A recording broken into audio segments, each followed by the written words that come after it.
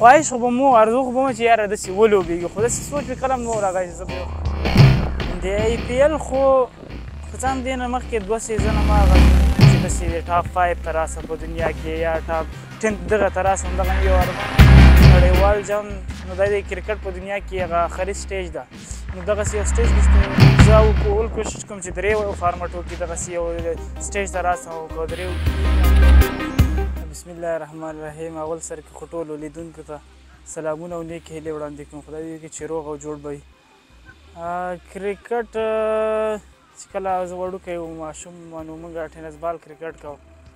نو یو حد پورې مې کې کرکټ وکړ بیا یو څه اندازه موږ مهاجرت ژوند و هغلته بیا پاتې سو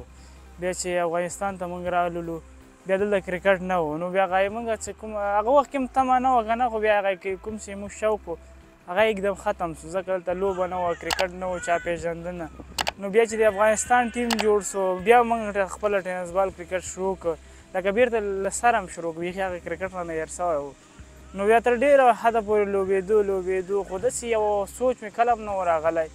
چې خواهش خو به مو ارزو خو به مو چې یاره داسې ولوبېږي خو داسې سوچ مې کله هم نه و راغلی چې زه به یو وخت کې د افغانستان نولس کلن ټیم کې لوبې یا ملي ټیم کې لوبې داسې سوچ کې مې کله نه تېرېده زړه مې کېده خو بس هغه کې کرکټ له لحاظه ورته وګورې نو چې څومره ته ښه کرکټ کې هغومره یې تا په کرکټ کې کرکټ لایف کې د هغه امپرومنټ راځي تا ورسره ښه کېږي هغه منټلي سټرانګ کېږي او د غزي کې چې څومره تا خپل سکیل لري په هغه سکیل باندې نور هم باور پیدا کیږي ځکه ته که ډومېسټک کې لوبېږي یا لو کرکټ کې لوبېږي نو هغه تا خپل سکیل تا ته پته نه چې زه څومره کوی سم څومره نه سم کوم که چېرې جانب مقابل ته یو قوي لوبډلې سره لوبېږي او ښه پرفارمنس کوي نو تا په خپل سکیل باندې باور زیاتېږي نو ډېرې مثبتې مثبت شي نه وي ما ژوند کې چې کله ما انډر 19 وکړ و هلته په نورو ملکونو سره ولوبېدلم نو چې هغه نور پلیران ما ولید کې لوبغاړي مې ولید داسې یو حس راته کېږي چې یاره کرکټ ټول داسې نارمل کرکټ ده نو که زه هم لږ محنت او خواري وکړم زه په یو آینده کې یو ښه لوبغاړی جوړ سم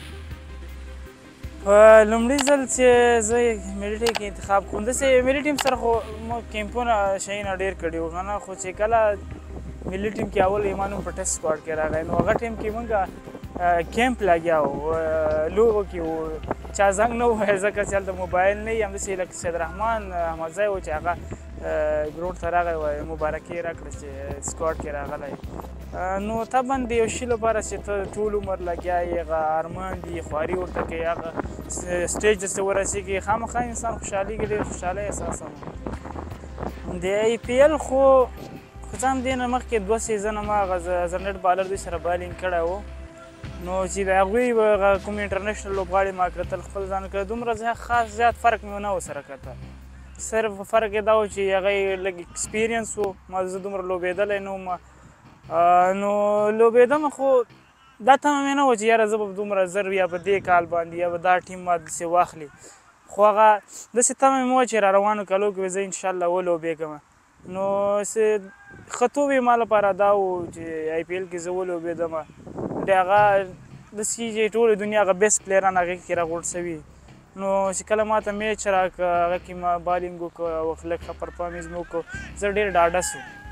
چې زه انشاءالله که هر رقم سچویشن راشي دومره اسانۍ سره به نور خو لوبه ده کې راځي یا ښه یا بد خو هغه اسانۍ سره پریشر نه اخلم چې یاره دغه بیټسمین ته به زه څنګه بالینګ کوم څنګه کوم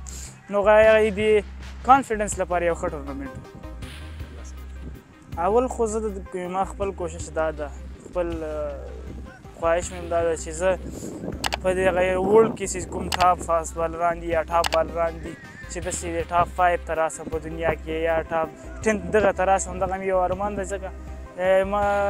نظر داسې کوم افغان فاست بالر به تر اوسه نه وي راغلی چې ټاپ ټین ته رارسېدلی نو ما خپل هم خواهش دا ده چې زه او کول کوشش کوم چې درې فارمټو کې دغسې یو سټیج ته راسم او که دریو کې نه یو یا دوه کې خامخا انشاءالله راسم